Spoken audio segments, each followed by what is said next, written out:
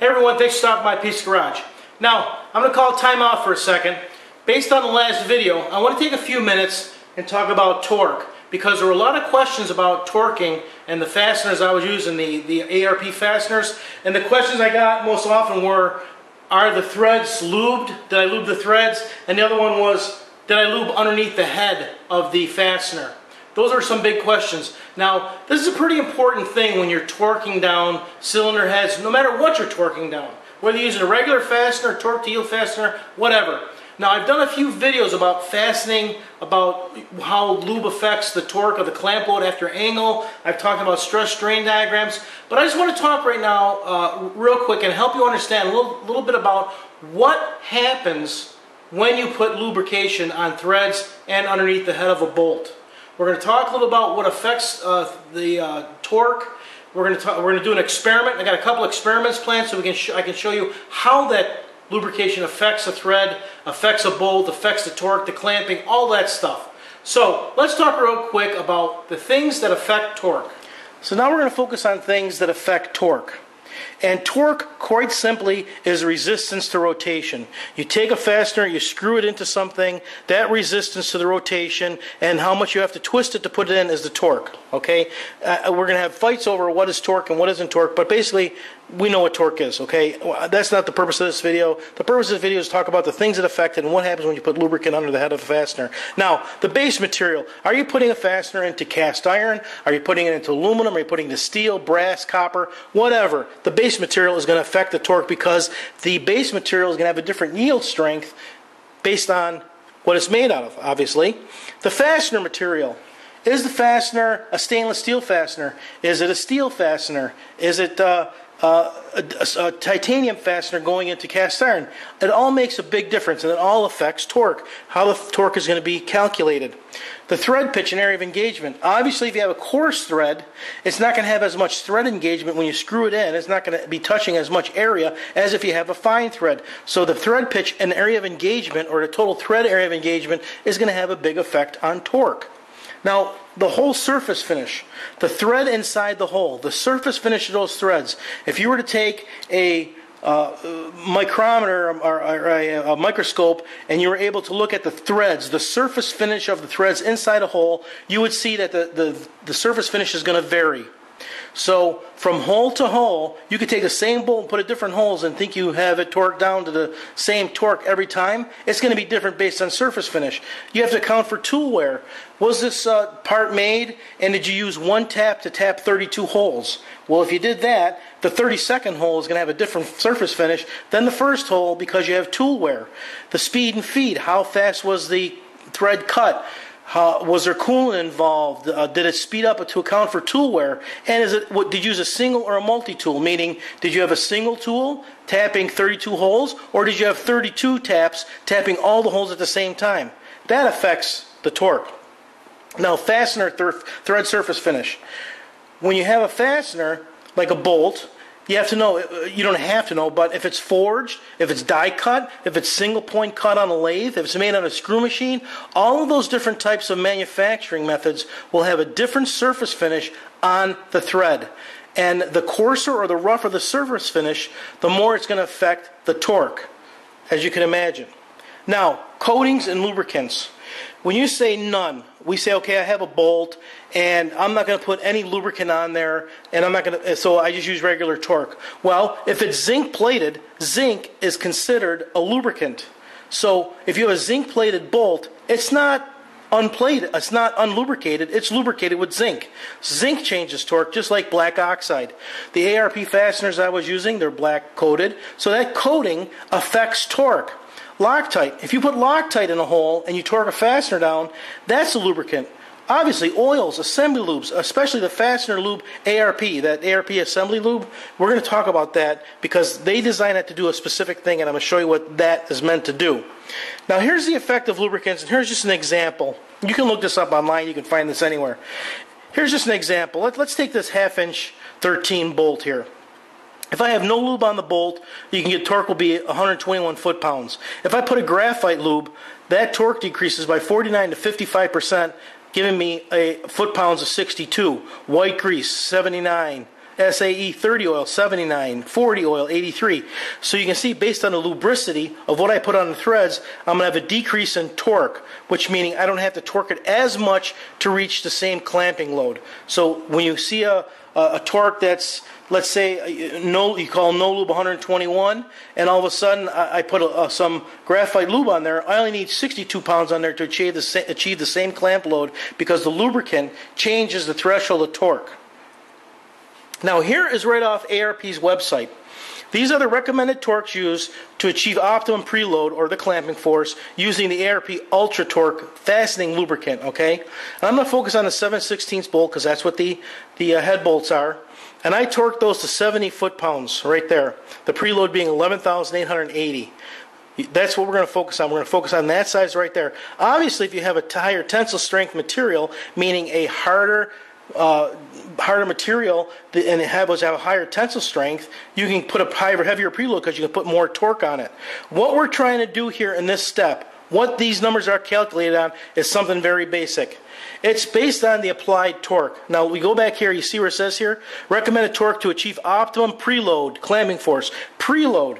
What is preload? Now, applied torque, the stress strain diagram that I've used in other videos, and uh, what we have here is as you're running a fastener in, it's, it's seeing some stress. You're stressing the, the fastener. You're, you're stretching out the, the bolt. You're taking it in there and you're stretching it out. As you get the point A, which is the elastic limit, as long as you stay under this limit, you can put that bolt in and out as many times as you want and torque it down. You're never going to hurt the fastener. You're never going to hurt the threads in the hole. That is our elastic limit right there. That is usually 75% of the total limit, of the elastic limit of the uh, yield. I'm sorry, the total yield of the fastener. So that 75% is really important. B is our yield stress point that when you have a torque to yield fastener, when you, when you get to A, you put a torque on here and you start to put your angle on there, you're trying to stretch the fastener, stretch it to its tensile, tensile break point, and you're trying to yield it.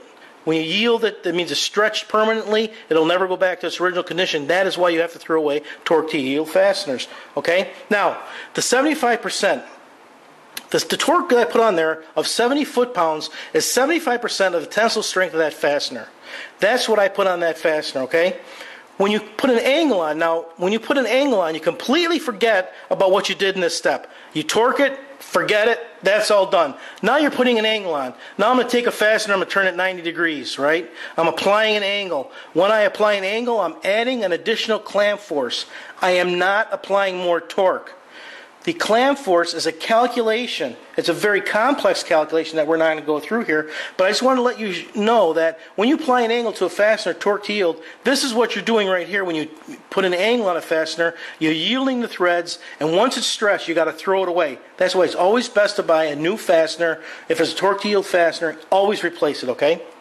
Now, the angle calculated, it's a calculated rotation of a fastener to reach the yield point. We want to reach the yield point, this right here. We want to get as close to that yield point as possible. We don't want to go past it because if you go past it, that's when it's starting to break. But you want to get as close to that yield point as you can with a fastener so that you're uh, uh, maintaining, getting to and maintaining the optimum clamp load for a fastener. That angle right there, we want to stop just before we get to the yield point of the bolt or the fastener. That's when we talk about torque to yield fasteners. A torque to yield fastener, first you apply the torque. Then you apply an angle to get the maximum clamp load right to the yield point. Once it gets there, you stop, and that's as tight as it'll ever go. That's as much clamping load as you can ever apply. And once you take it out, the bolt is permanently stretched and you have to throw it away. Now, why use the ARP Ultra Torque Lube? That's the lube. That's right here. This is the lube right here. The Ultra Torque Lube. This is what comes with the ARP fasteners. And they uh, make this, they have spent years developing this to do something very specific. And this is what they designed it to do. You put the torque on there, and what they do is they have this design so that when you get the 70 foot pounds, or the 75% of ten- tensile strength of the material, you're sure that on the first try, you're going to get right to the maximum torque. This also is a chart that's taken right off of the website from ARP, and it's just, just a generic installation preload scatter comparison. And what it's showing is this. If I take a fastener, and if I put the ARP Ultra Torque lube on there, an EPL, a Moly lube, or just regular oil, it's showing on my first try, I will get right up to my maximum uh, torque on the first try. And, and if you take the bolt out, put it back in, out, in, out, in, out, in, you'll get an even torque or even clamp load all the way across with, the, with this ARP fastener lube. If you use oil, it's going to start low, and as you take it in and put, put uh, take it out and put it back in and torque it down, you're going to squish the oil out. The oil is going to be worn away, and you'll eventually get up here right around the eighth try. Same thing with a Moly or EPL. So this the lube that comes with the fasteners is designed for you to put it on the fastener and get it to the preload immediately on the first try. And for parts where you might take apart all the time, maybe like heads or intake manifold, whatever you might have to take apart a lot. This is to make sure that when you take it out and put it back in, you get right to where you were before. You don't want to have this kind of curve in here. You start it out loose and you tighten it up and then you take it out, put it back in, and all of a sudden your, your part is coming loose. But the important thing here is preload. We're trying to put a preload on the part. It's a clamping load, okay? Preload, clamp load. Now here's the calculation for a bolt, uh, bolt preload calculation. We're not going to go through because it's really, really complex. But what I'm trying to say here is that the bolt pretension, also called the bolt preload or pre-stress, comes from the installed torque when you apply it when you install the bolt. That's all this is.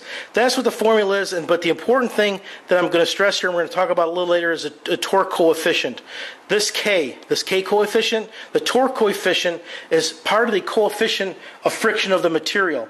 When you have different kinds of materials, they have different coefficients of friction.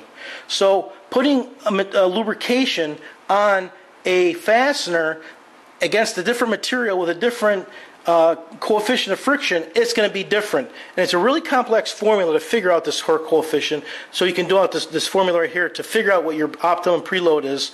But I'm just showing you that, that it's a science. This torquing these things are a science. And guessing yourself is very, very I'm going to say difficult, but I'm not going to say wrong, but it's very difficult to do because the manufacturers know how they want their fasteners torqued down, which is why I always say follow the manufacturer's recommendations, okay? Now, we're going to do a test. I have those cylinder heads torqued down. And what we're going to do is we're going to measure the dry breakaway torque. Those cylinder heads are torqued down. I took clean the bolts and there's no lube on the threads. I'm sorry, no lube underneath the head. I put lube on the threads, but there's no lube underneath the heads. So what we're going to do is we're going to mark the position of the bolt. We're going to I'm going to measure the breakaway torque. I'll make a chart of what the breakaway torque looks like for every one of the fasteners. Breakaway torque is just how much how much force it takes, how much torque it takes to take a fastener, break the coefficient of friction, the friction to break it loose breaking, called breakaway. So you're breaking it. You know, you can say, I'm going to break a bolt, but I'm going to break it loose. That's what you're doing. You're breaking the coefficient of friction and you're loosening it. So I'm going to measure the breakaway torque for all the fasteners and I'm going to make a map and we're going to see what it looks like. We're going to see how even it's been torqued with no lubrication underneath the head of the fastener. Okay, here's our experiment. First thing I did was, which might be hard to see, I put a clock mark on every one of these bolts. There's 17 bolts. I put a clock mark at 12 o'clock on every one of the fasteners because I want to know after I loosen these up and put lubrication underneath the head of the bolt, where is it going to end up with identical torque of 70 foot-pounds. But first I'm going to measure the breakaway torque. I'm going to use this device right here. This is just a, a, it can be used as a torque wrench. I use it to calibrate torque wrenches, and you can uh, buy this at Harbor Freight. It's like 28, 30 bucks. It's totally worth it. Works really well. And what I'm basically doing is I'm going to put this on every one of the bolts, and I'm going to measure the torque. And you can see if I take this and twist this, it stops at your at a torque. So I'm going to be able to measure the breakaway torque on all 17 of these fasteners. Let me do that, and then we'll look at a map when I'm done. Now I have every one of these loose. You can see they were at 12 o'clock. Now the line's cracked open. I have all those values recorded. I'm going to take all these fasteners and I'm going to put lubrication underneath the head of the fastener, right where it's supposed to be, underneath the head. And I'm going to retorque these down and we're going to find out where these end up in the clock position. We're going to see how close to 12 o'clock we're going to end up with those after I retorque them back down. Now all the bolts are retorqued. And as you can see, they went from 12 o'clock to a little bit between 12 and 1. Did not go very far. Some of them went to 1, but uh, I'm looking at all of them and they're all about the same. Just about 1230 where the hand would be. So it's like halfway between 12 and 1.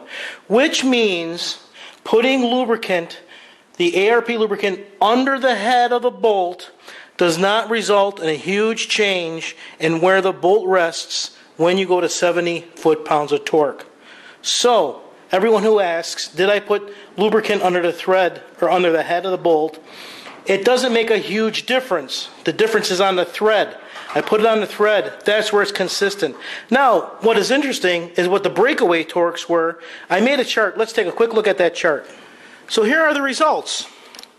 The blue line, the blue bar going up, is the breakaway torque with no lube under the head. The blue line is the average. So that's where about the average fell for the breakaway with no lubrication under the head of the fastener. The green line, that this fluorescent green, is the breakaway torque after I put lube underneath the head, and the red line is the average breakaway after I put lube underneath the head. What this tells us is if you put lube underneath the head of a fastener, it's going to turn just slightly more when you torque it. And when you go to loosen it or take it out, it's going to lower the breakaway torque a little bit on average. But if you notice what it did, it not only lowered the average, but these peaks that are in here, those peaks aren't in there anymore. So it made the torque or the breakaway torque on all the fasteners a little more uniform. So by putting the lubrication underneath the head of the bolt, you are uh, allowing yourself or allowing the set of bolts to be torqued more evenly. So that is why you put the lube under the head of the bolt. It's not going to change the torque. It's not going to change much with the fastener. It just makes the torque more even over a series of fasteners. And I just showed you uh, how that's possible and what the data showed. Now, the uh, next most common question I had, did you test the heads? Did you, can you take the heads right out of the box, put them on the engine, and expect them to run? Did you test them for leaks? Did you test them? The answer is no, I didn't people have said, there were comments like, um, um, I've, I, many times I've had problems with cylinder heads. Or I've taken them out of box and it's happened to me several times. And I've learned over my um, tenure working in the automotive industry and in building engines is that those, those are pretty subjective terms. If you build one engine and you have a bad cylinder head, then 100% of the heads you put on are bad. If you build 100 engines and you get one set of bad heads, then 1% is bad. So it's all relative. Can it happen? Absolutely. Every manufacturer is prone to have quality issues, errors, things are going to happen. Now, I was a process engineer for, for General Motors for a long time. I worked in an engine plant, and I was responsible for cylinder head machining and engine assembly. I worked on the L29 454 502 the L29 line for Chevy. And made I was a process engineer for cylinder head machining. Made hundreds of thousands of cylinder heads. Were they all perfect? No they weren't perfect. But you know what? They all passed a leak test. And the leak test is designed around variation that occurs in manufacturing. In the machining process when you make anything I don't care if you're making hot dogs, if you're making cylinder heads, or you're building airplanes. There's going to be variation from part to part.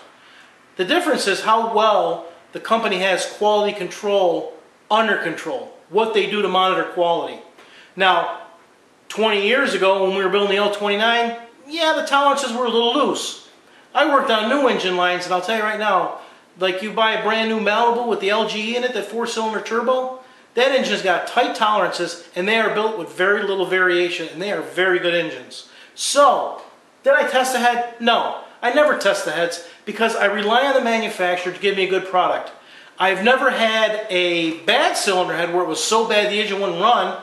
Uh, so I can't say whether or not you can or can't do it or shouldn't do it. But if you could test it, you wouldn't be able to afford the equipment you would need to properly test a cylinder head anyway. So that answer about testing it, should you not test it, really not applicable because you can't test it. There really is no test. There are things you can do, but starting it up and running is really the best way to do it. Now, the next one. Piston to valve clearance. People are asking me, did I check piston to valve clearance? The answer again is no. The reason is because when I choose the parts for the engine, when I choose the pistons, the heads, the gaskets, the connecting rods, all that stuff, I know that what I'm buying will match. If I was going to put together a real radical engine with a flat top piston and, and some kind of, or a dome piston with some real radical cam and had huge lift and giant valves or something like that, then I would check piston and valve clearance because then you might have some interference. You want to see how close it is.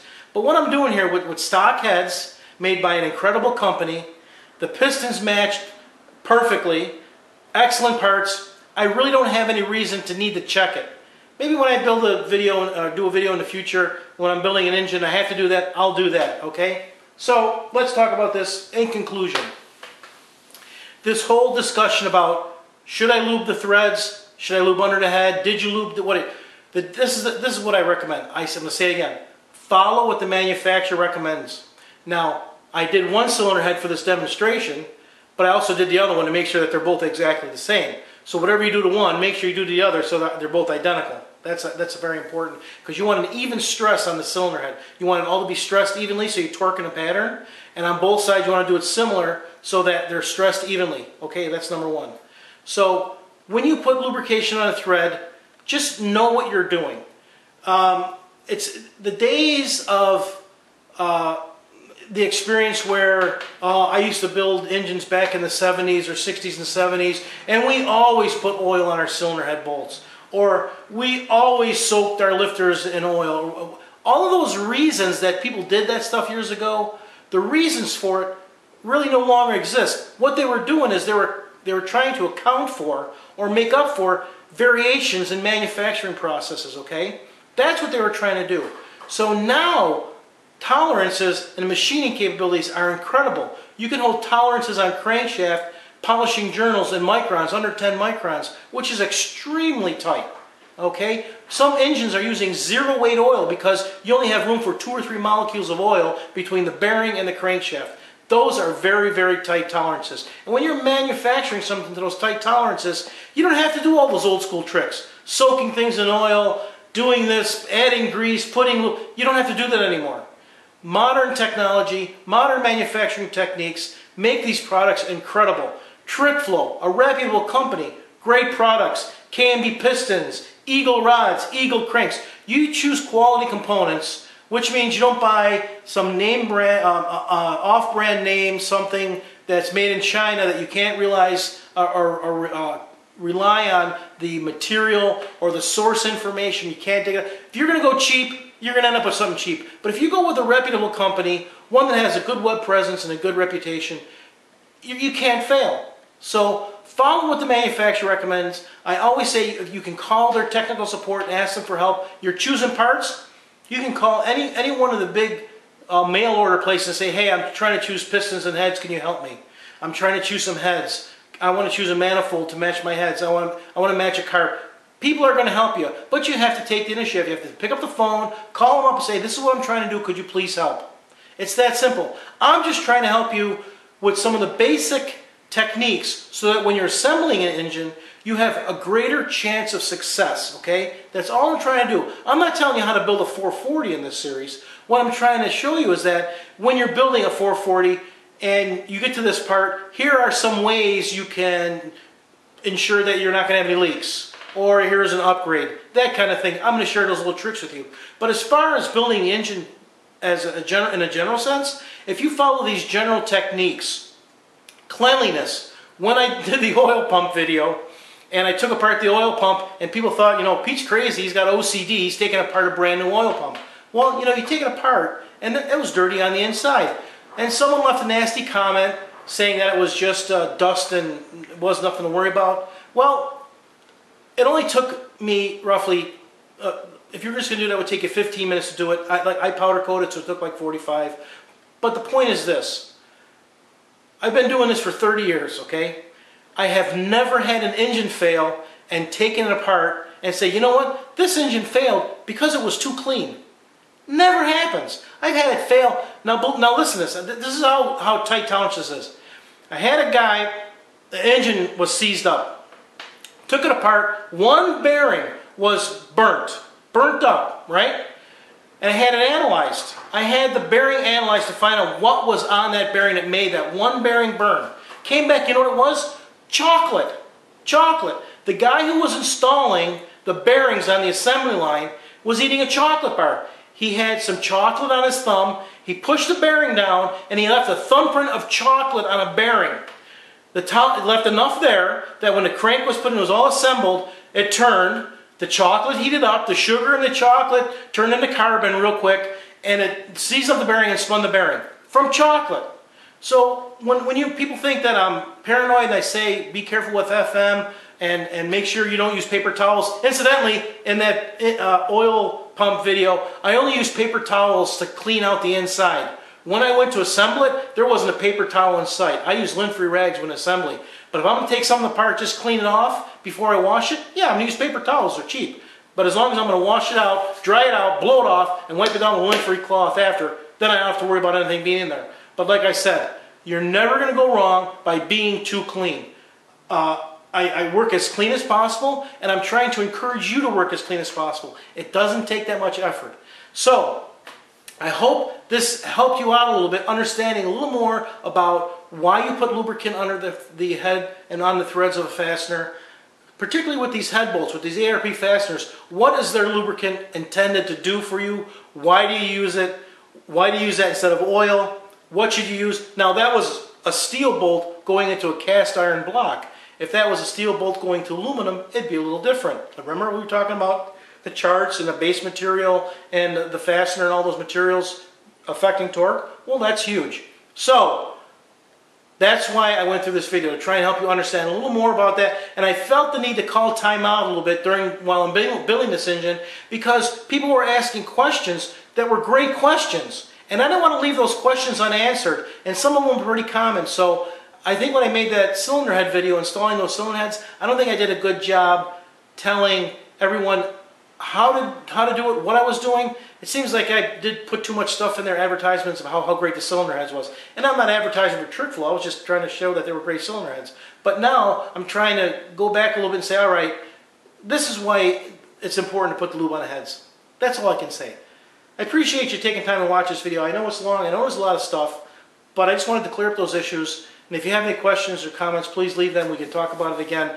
I want to continue on with this engine, get on the dyno because it's going to be a monster. I'm going to be putting in the valve train next. So I appreciate you watching my video. Thanks for stopping by Pete's Garage.